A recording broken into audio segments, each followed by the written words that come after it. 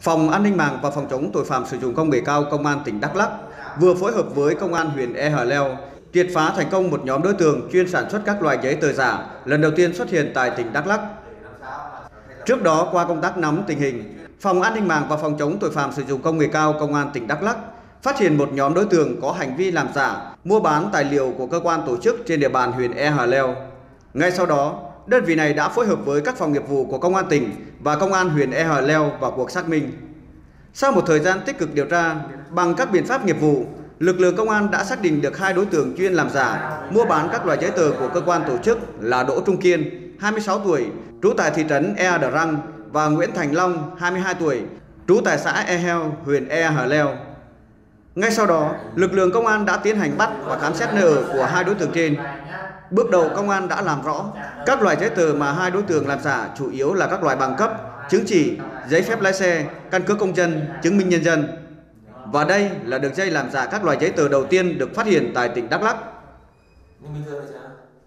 bình thường nếu Sau khi chấp hành án tại trại giam Đắc Tân về tội cố ý gây thương tích thì năm 2021 thì em về em có lên mạng thông qua những bài viết trên mạng á, thì em thấy người ta quảng cáo ờ, làm giấy tờ giả đồ được á, thì đã nảy sinh ý định là à, làm giấy tờ giả để bán kiếm lời. Và khi em đặt mua các loại máy máy in ờ, thẻ và máy in màu. Và à, mua các à, chất liệu phôi đồ về làm. À, bằng lái xe thì em có lấy là một triệu đến một triệu rưỡi. Các loại bằng cấp là bằng cấp 3 bằng đại học giá từ dao động từ 500 đến 1 triệu. Ừ, anh Kiên cũng chỉ do cách làm một số loại như bằng lái này. Rồi sau này thì hay ra chơi ở chơi nhiều thì à, lúc rảnh thì anh Kiên có có khách hàng mà làm như giấy phép lái xe ấy, thì gửi cho em thì em làm. Khi mà làm bằng lái thì em chỉnh sửa trên máy tính á rồi in ra máy in thẻ nhựa. Làm xong thì à, có lần thì à, em đi gửi trực tiếp cho anh Kiên. Còn à, có lần thì em đi gửi qua phía giao hàng. Là mỗi tháng là trừ tiền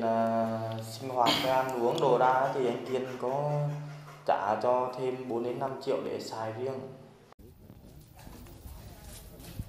Khám xét nơi ở của các đối tượng, công an thu giữ 3 máy tính, hai máy in màu, một máy ép nhựa dẻo, gần 300 thẻ nhựa có in chữ giấy phép lái xe, cùng hàng trăm loại giấy tờ, tài liệu có liên quan. Đây là một vụ việc mà lần đầu tiên được à, phát hiện và triệt phá tại tỉnh Đắk Lắk.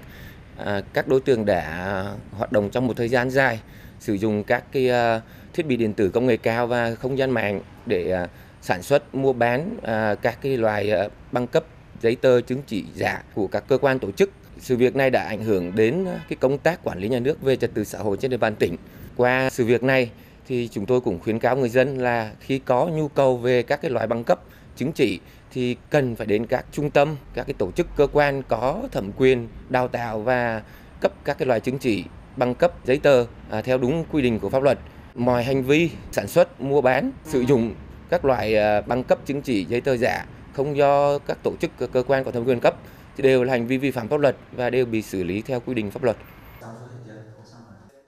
Hiện vụ việc đang được công an huyện E Leo thủ lý điều tra để xử lý hai đối tượng này về hành vi làm giả, sử dụng con dấu, tài liệu của cơ quan tổ chức